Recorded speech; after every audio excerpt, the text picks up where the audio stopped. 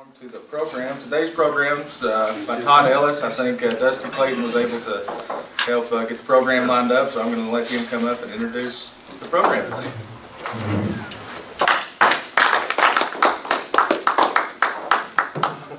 He's clapping the most because he didn't have to do anything for his program. I wish this was going on about a month and a half ago when I had the program.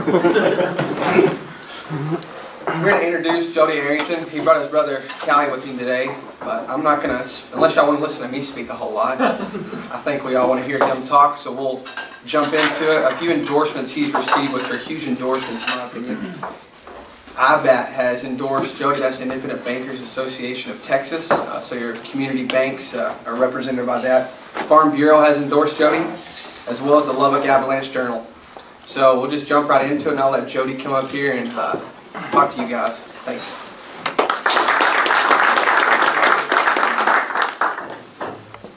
Well, uh, Dusty, thank you, uh, and the Clayton family for, uh, let me explain justice. I I bet you can hear me without that. Can y'all hear me okay?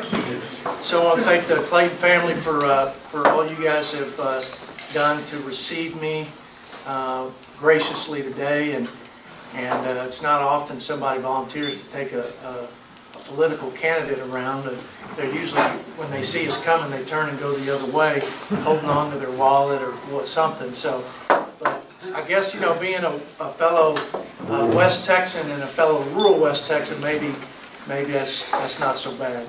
Um, uh, I, I- I appreciate what you guys do in service to your uh, community as Rotarians. And, um, you know, that's the way, to me, that's the strength of this country, and, and I think we've got it upside down today. I think we've, we've, we've emphasized a distant, universal, sort of all-encompassing, all-empowering federal government uh, as the solution to every answer, uh, uh, and have a very problem, as opposed to empowering states with states' rights in the Tenth Amendment, and empowering communities, and empowering individuals, and empowering our um, small businesses. So I think we've, we've, we've got it upside down today, and that's something we'll talk about.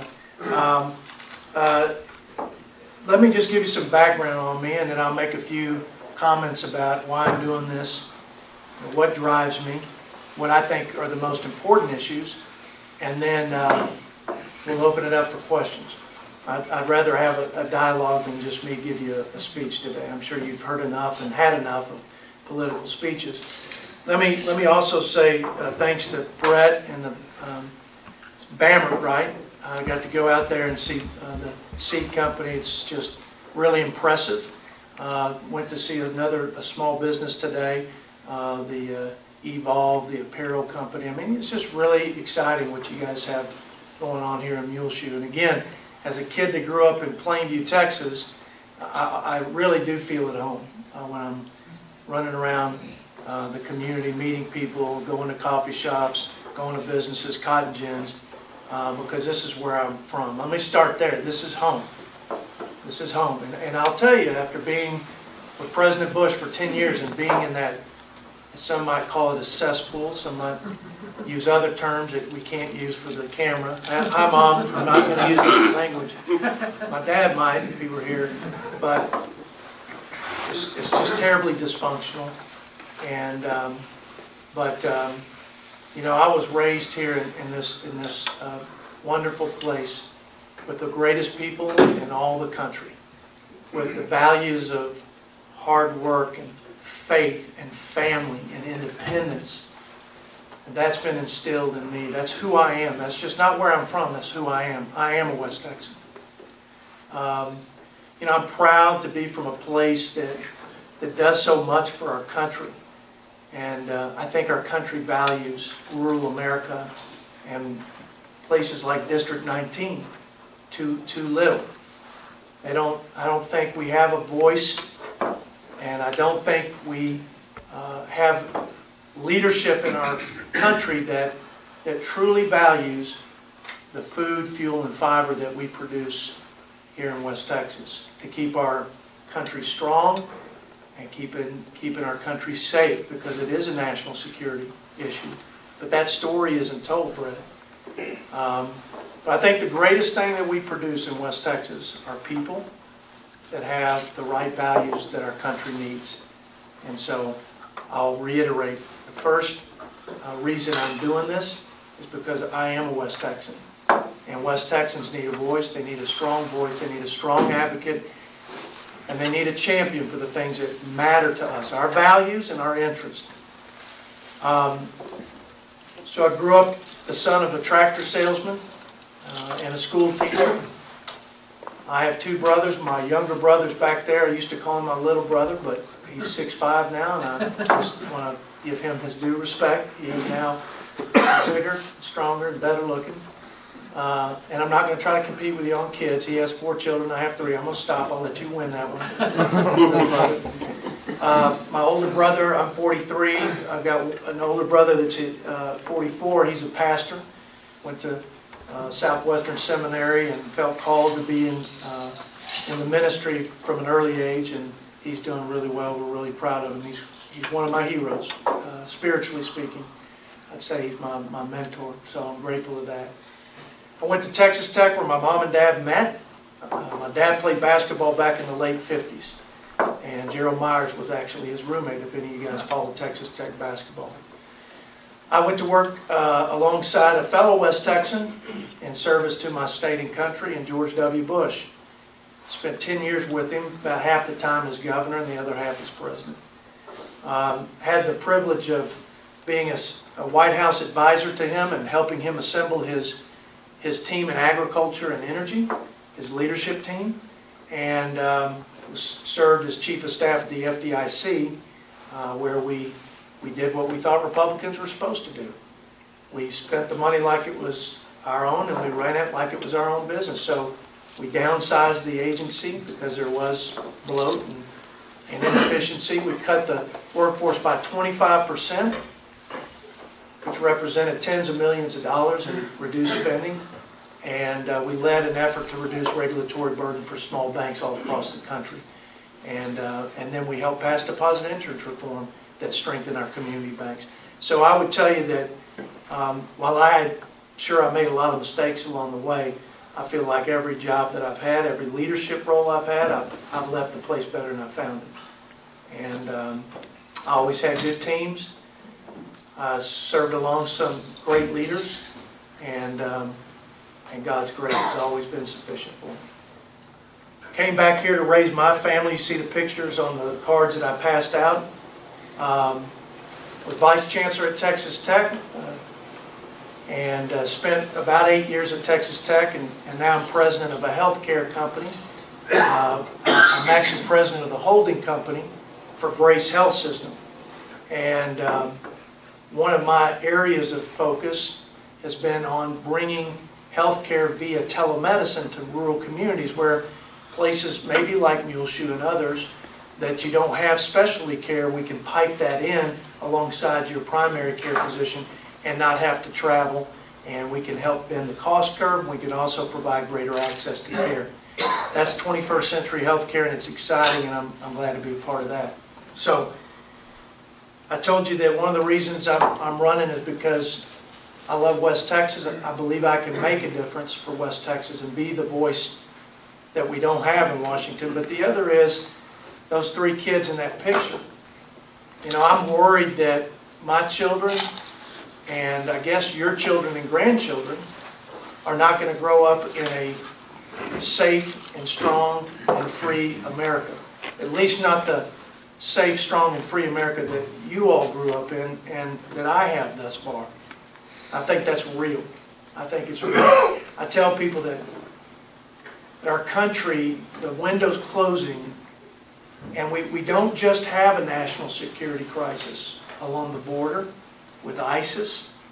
We don't just have an economic crisis with our $19 trillion in debt and the reckless, runaway, irresponsible, unconscious, you know, just spending spree that will be the millstone around the necks of my children. We have an identity crisis in our country. We got to decide if we want to be the next member of the European Union with the European Union style debt, European Union style tax rates, European Union style culture, European Union style let's just say average. But America's not an average country, never has been, never should be.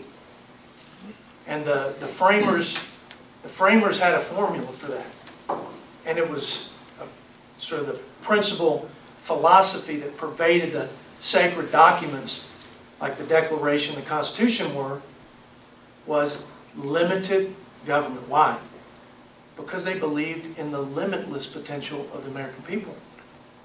They believed in we the people, and that if you unleashed the economy instead of taxing our jobs overseas or putting layer after layer of trillions of dollars of regulatory burden, then we'd be the envy of the world, the economic engine of the world, the laboratory of innovation of the world. That's exactly what America's been as long as we've been limited in our scope and scale of the federal government. And so we need to unleash the creative energy and the entrepreneurial spirit. We need to get the great America back. We need to, to be the shiny city on the hill. And uh, we can. The good news is it's, it's, not, it's not rocket science. It doesn't require nuanced and sophisticated policies. It requires us to return to that document, the Constitution, and actually govern accordingly, as we talked about in our earlier meeting today. If we respect rule of law, if we respect states' sovereignty to determine their values and the culture and future for their families, we'd be, we'd be better off. And, uh, and if we didn't think government was the answer for all of our problems, we'd be better off. The list goes on and on, uh, but we have so strayed from it that the window's going to close on us in the next few years, several years. I think this is the most important election of my lifetime. And uh, when it closes, I think we'll be uh, inexorably changed in, in our identity. And I'm not going to sit back and let it happen. And uh, why do I think I'm the guy for, for you, for your community, for, for, for this community, for your families? Because I am from West Texas. Because I've served well in the opportunities I've had to serve with President Bush at Texas Tech, whether it was growing Texas Tech alongside my team there, Kent Hance and others. Because when I had a leadership role, um, I did what I think leaders are supposed to do, lead deliver results, not just talk about things. You know, I- this is, this is, this is part of, you know, being a, uh, a candidate, as you go around, you talk. But the real question for, I think, the folks like you guys who are voting for the person who's going to represent you in Washington, where the West Texas jersey up there is, what have you actually done in your career that has left this place better? That is, that, that, that was that, that was more reflective of our conservative values. And I got that record, and I'm happy to talk about it today uh, when I open up for questions. So that's my, um, that's my passion. Service, leadership, uh, leaving places better than you found it. Um, and um, I think our country's in awfully bad shape right now. But we can get it back. We can get it back. We just have to have the right kind of people up there that are putting America first say it again, putting America first, not their party, not their party, not their partisanship, not their self-interest, putting America first and uh, solving some problems. Because we kick the can down the road so much, guys, that I don't know that my kids are going to get that opportunity that you've had. And I'm mad about it. I'm really, I'm mad about it. The more I talk about it, the more I'm going to get angry. So I'm going to stop, let you guys ask some questions. Um, uh, Thanks again for the opportunity just to share my heart, my thoughts about this really important election and why I think I'm the, the right guy for you and, in, in this, this wonderful community. So with that, um, fire away. I got a question about, you mentioned healthcare.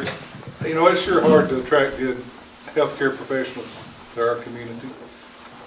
And I've read something about Teladoc or telemedicine. How, how do you foresee that working and opening up? Um, I think that's the future. I think you're gonna see more, um, telehealth, um, delivery services.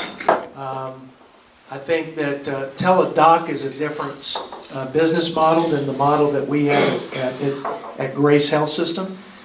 Teladoc is where you just, you, you can call up and you can get, you know, you talk to a nurse practitioner, maybe it's, a maybe a physician. And the way we do business here, because Texas has different laws than other states, they're pretty restrictive, actually. They're, they're one of the most restrictive. And they, they believe that you need to have, um, there needs to be continuity in care. So that, that, that, that one requirement is that there is some um, relationship back to the primary care physician of the people uh, who you're serving. So it's just, you can't just call somebody up and get a prescription. You have to have that relationship. And I think that's good. Um, I think that's good. I think it's certainly uh, probably a, a more responsible and safe way to do it. Uh, we'll see if, if we can open it up beyond that, but that's how it is today. So, So in other words, from home, you just get on the inter- internet and have Yeah. a camera and you talk to the doctor or yeah, and then we communicate back to the primary care physician because we have a relationship with them as well, not just with you. You just I don't see. call me in a, out in the, the ether somewhere. I've, I've got a relationship with your, your doctor, and, and quite frankly, the doc, the docs will, exp- the primary, the medical community is, is more receptive to that when you are tying it back in. So there's a lot of reasons for that. Some are political and some are practical and safety reasons, but yes, that's it. We, we also have a system today, I think I mentioned this at my last meeting, but where we do remote patient monitoring. So it's not just that I can pipe in specialty care where you can't get specialty care maybe here in Muleshoe. So we, we get you on a video, maybe your primary care person is there, maybe it's a physician, maybe it's a nurse practitioner, and we consult. The other thing we do though is remote patient monitoring. So if you have somebody that's got uh, uh, multiple disease states, these are the sickest people in our, in our country, and we have a statewide service to, to some of these folks. And what's happened is, oftentimes these folks are the, they're the highest utilizers of healthcare resources, and they'll go to the emergency room when, when they really don't need to. They just need somebody to talk to them and say, let's increase your medicine, or have you taken your medicine? And, and uh, it's, it's high intensity. There's $2 billion in Texas that are spent unnecessarily because folks, primarily in this group, overutilize the emergency room. So we're doing tele monitoring with them to just really cool. They wear, you know, remote. There's there's a Bluetooth a technology that will send information to our healthcare uh, center, our care center, and then we engage from there. And we're already seeing good good results. I mean, we're new at this, but it's exciting, very exciting, especially for rural America, especially for remote places. It's harder to get to a specialty care doc. Yes, sir. It seems clear that uh, in our society today, in our country, we're so polarized in so many ways, we're not going to get our own way and make any progress at all. None of us are going to get our own way. What kind of bipartisan, what kind of experience do you have dealing with folks that are your political opponents to try to do something good and not demonize each other? So let, let me say a couple things. That's a really, that's at the heart of a lot of questions I get. We talked a little bit about it in our last meeting. Um, let me first make it clear to everybody here so that you know who you're voting for. I'd rather, you, I'd rather you know who I am and decide not to vote for me than to vote for me and think I'm somebody I'm not. Okay? So you're not going to get to the right of me. Ask me any question you want. I'll be way over here, socially and fiscally. Okay? just how I was raised uh, as a as a person who believes the Bible is the Word of God informs my policy decisions. I mean, there's a lot of reasons why I'm over here, but this is where I am. Ideologically, like if Jodey was was able to make all the decisions, and everybody entrusted those decisions in one person, and I was making them, this is how we would be as a country. But guess what? That's not the way our system was designed, and not everybody thinks like Jodey. So. I have to be able to to move and meet people and and of all all along the spectrum if I'm going to actually solve a problem. Texas Tech is not as far from Congress, but we were declining in enrollment growth for three years. The first time we've ever declined like we did at Texas Tech. We were at 27,000 when I got there with Kent Hance. Hance asked me to, to lead the effort to turn the enrollment growth around because it was going to be very important. We were having some real pressures on uh, higher education was getting cut. We needed we needed to bring more students in for that reason. We also just thought it was better to have more Red Raiders in the marketplace, quite frankly, as a tech grad. Um, I was chairman of the enrollment growth task force. I had deans and department chairs, and, and I, I, I guarantee you there were some Bernie Sanders people in that in, on that team. Uh, there may have been people to the left of Bernie Sanders, for all I know. But you know what? This is how I've always led. I've never treated somebody like they were, if they dis- didn't agree with my far, you know, right, staunch conservative beliefs and ideology, I never made them feel less than a Republican. I never made a Democrat feel less as an American. Never. And I've never made a Christian feel less of a Christian. I hope not. I mean, maybe maybe they left feeling that way, but my I don't believe that is consistent with how I've led. Now, I'm pretty strong about my beliefs.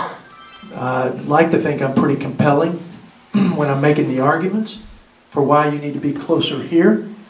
But we just got together and we solved the problem. Turned it around. We had record breaking enrollment for the last seven, eight years. Save and except that one year, we broke the record every year. Now we have seven, roughly thousand new students at Texas Tech. Why? Because we actually just had a goal, had a plan, executed on it, and and tried to figure out, focus more on attacking the problem than attacking our, each other. That's just one example. I'd say the same thing about cutting the government. When I when we were there, we did what we, we did what we, we did. I just explained it, but we had lawsuits, we had the union groups. We it wasn't easy. It would have been much easier to let that let that somebody else deal with that and us be talking about something sexier like deposit insurance reform and come back and say we passed legislation. Hey, we need to pass less legislation. We need less laws. Let's enforce the ones we have, and then let's clean up the bureaucracy and let's let's take a let's take a meat axe to some of this federal bureaucracy that we've created because that's what's killing our economy and, and quenching the spirit of Americans. Anyway, that's a long. I'm trying to filibuster so nobody will ask me another question. Uh, because I can se- I can sense it's gonna it's getting harder. The questions are getting harder. Does that answer your question? Yes. Again, there are some things though, and I want you to know this. There are some things that you don't compromise on. For me, I have moral imperatives that I just you know Planned Parenthood and and and and and what they what that organization represents which is a stain, in my view, moral stain on this country. Um, I, I have some areas that I, I, will not compromise. There is no meeting halfway. There's no Ronald Reagan. I love to quote him. Ronald Reagan said, "You know, um, I never, you know, didn't get 100% of what what I wanted, but I'd take 80% and come back and fight for the other 20." I think that's a reasonable Ronald Reagan common sense approach to governing in a country like this. Um, but there are some things I will not. Um, there's no 80% of the life uh, of a child. So, but there is a vast uh, uh, uh, space out there to find some some uh, some movement forward to solving problems. I think. Well, I, I successfully filibustered today, and I just want to thank all the people at home watching. Um, any other questions? I'm serious. I'm here as long as you guys uh, will, will take me. I, I got a question. Yes, sir. You've been talking all morning, and I haven't been able to ask you anything. Cole, don't be saying I've been talking all morning and not letting you have a word in edgewise. Uh, ye- yesterday, I heard Mary Robertson's uh, ad on the radio, basically kind of bashing, bashing you. Almost, I feel like that's what they do up in Washington. And uh, I know you had a deal in the paper this morning, but I hadn't had a chance to read it. Yeah. What's been your response to that? Uh, well, I appreciate you uh, bringing up the issue that I'm being I'm being bashed, uh, but I will not be bashful in responding. Uh, first of all, let me say this: I'm sick of Washington and politics and the way politics are played. Americans are sick of it. We don't know who to trust and believe. We're sick of both sides, and here our country is just in the death spiral. And th- this I'll say that, um, that, that the, the, the, the ads that have been taken out on TV and radio are just, um, they're either completely false or they are um, mischaracterized. That's probably the, the, the, least that they are. Um, but as we say in Plainview, they ain't right. and this is how, this is politics. This is the politics that has created a country that is so polarized that we can't get anything done because people just, they're sick of it.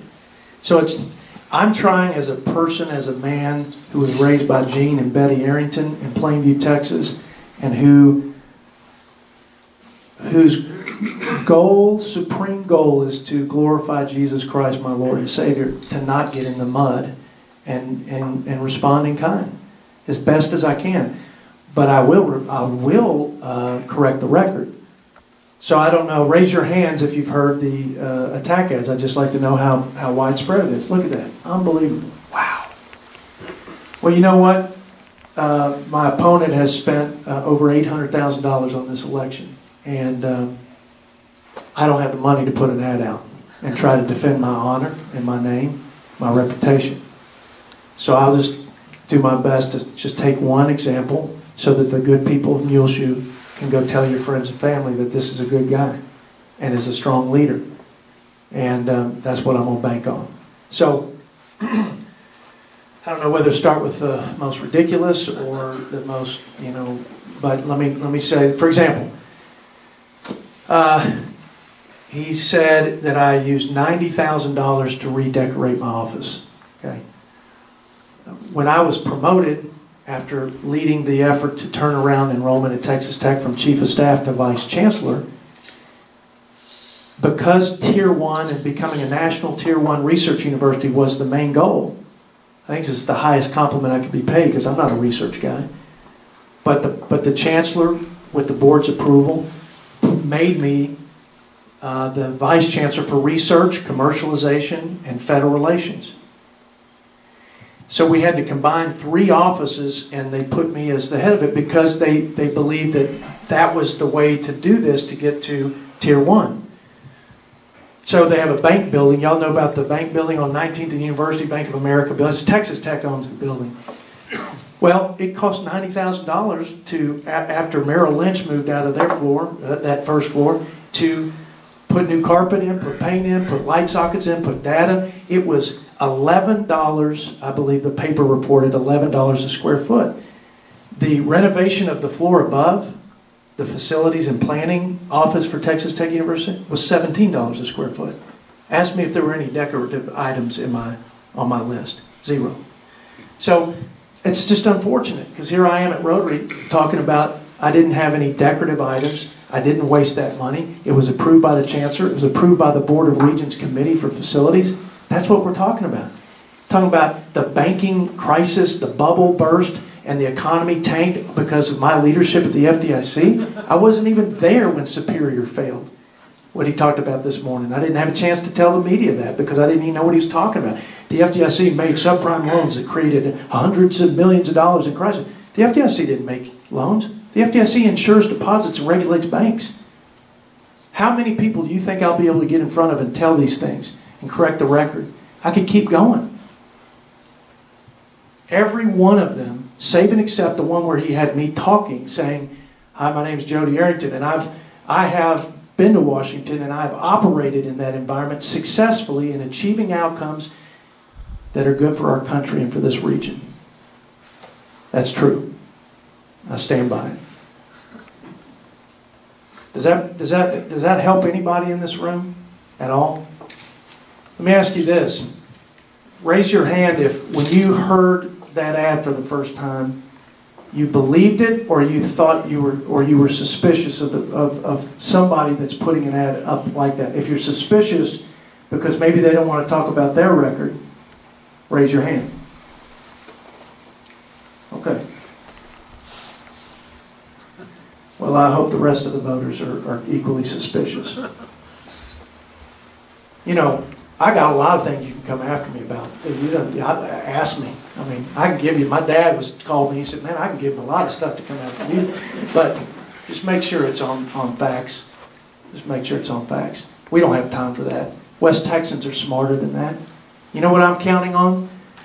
I'm not counting on raising any money in here to, to put another ad out. I'm done with ads for this, this cycle. I'm counting on the good judgment of West Texans who see through that kind of baloney. And I'm counting on God to fight my battles. So, that's my answer. I probably should have just said that at the beginning, but felt like I needed to say something about it. Other questions, comments, and then we'll, we'll wrap it up. Yes, sir. It looks like you made a major commitment here, with having three young children at home. And I- my question is your long-term goals? Because all of us, I think, in my opinion, are looking for somebody to back, Yeah. to stand for rural America, fight for rights, and agriculture, because we're all based mostly around agriculture. And uh, as politicians, you have to make alliances. And if you win, which I'm going to call Babe Ruth shot and go ahead and say, we're going to back you. All right. And uh, Say that loud enough for the camera. Could you get, could you get a close-up on him? Hold on a second. He's gonna, I'm gonna point where I'm gonna make this whole run. I'm gonna back. Ladies and gentlemen, But what I don't wanna see is what we got right now, as a politician been in office too long, where he kinda gave up. And I'm talking about Neugebauer. Yeah. He'd been in office a long time, did us right, very conservative, had a lot of good points. But if you talk to him in the last two years, he's like been defeated Yeah. because of all the bureaucracy he has to go through and nothing gets done. Hmm. And we want to back somebody that's going to go for it, but we don't want to get in that mix Yeah. where, you know, he has some power right now because he's been in office so long. And it's going to be a tough road for you, Yes. but don't get burned out. Well, uh, you made me want to resign already, and I haven't I haven't gotten Well, I'm going to back you, so don't resign. No, no, no. No, listen, here, here's, here, here- let me just say, like, I appreciate what you're saying, and I, I, I, I agree. It is a beatdown. I mean, when I worked for the president, it was twenty-four seven. I, that's, that's all I've ever known in these jobs is twenty-four seven. My wife and, and I met there. She's from New Orleans, actually. Um, and you're right, having those three kids, I'll, I'll tell you, we, it was not, uh, without much prayer and consultation with each other and friends and family that we made the decision to do it. And if she said I wasn't in, I wouldn't do it. But, but she knows that this is a calling for me. Okay? So I'll just say she's all in. But I'll also say I'm in the sweet spot right now, man. I am in the sweet spot. I'm 43 years old. I've had an experience of a lifetime with President Bush at Texas Tech. Think about it. Agriculture, 40 years in my family. It was the livelihood of my family. Healthcare, president of a healthcare company. Energy, I'm on a Wind Energy Board, was president of that Wind Energy Board while I was at Texas Tech. Uh, higher education, former vice chancellor at Texas Tech. What about uh, any political experience? Worked in Washington for President Bush and helped shrink bureaucracy, cut spending. So I worked, here's the other thing. Mike Conaway, talk about agriculture, you're right. We don't have a voice. We didn't even talk about that. The crisis here is that agriculture and farming and cotton farmers in particular right now, they've got no voice. And our country, the leaders in our country, they do not value the 24 millions of jo- uh, 24 million jobs that ag creates, the abundant supply of food to feed, uh, you know, cost effectively our people, the, the, the food and fiber independence that gives us a national security strength. On and on, they, they, we've lost it generationally, that, that, that understanding and appreciation of value. What do we need to do? We need somebody that's a champion, and this is why I'm honored that, you know, that the Farm Bureau stand with me. Their mission is to be the voice of agriculture. I said, you know, that's my mission. Among other things, is to be the voice for agriculture. So I'm 43. I'm full of, you know, lots of energy, and um, I got this. This this is my skin in the game right here, and that's my acid test at the end of the day. Is uh, looking at Nathan and Jane and Hank the tank and saying, "Dad did everything he could today to make America stronger." He did everything he could today to make sure you could go raise your family and start your career in West Texas. Dad did that today. That's my acid test.